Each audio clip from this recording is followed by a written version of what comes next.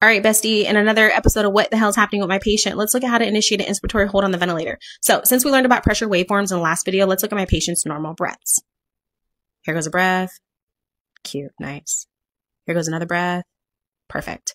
So, time to initiate a breath hold to get my plateau pressure. So, we press that bad boy right there and hold, hold, hold, hold, hold, hold, hold, hold, hold. What will the pressure be? And end. So, based on that maneuver, it calculated the plateau pressure at 16. So, now we're back at our regular breaths on our pressure waveform. Let's see that on the patient, regular breath, regular breath, back to basics. And let's try that one more time on repeat. So this downward slope again is our inspiratory hold. There we go. And N. So listen, moral of the story, don't keep your patient's lungs stiff like the attending's personality. Make sure your plateau pressure is under 30 unless there's an underlying issue that the critical care team is aware of. And just so you know, I wasn't sucking air from a human. This was actually performed on my test lung. So listen, stay curious, bestie. Let's chat soon. Love you. Bye.